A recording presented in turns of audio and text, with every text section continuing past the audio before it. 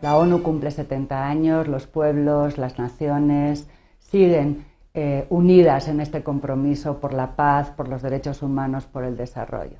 El mensaje de ONU Mujeres es muy claro. No puede haber desarrollo sin igualdad.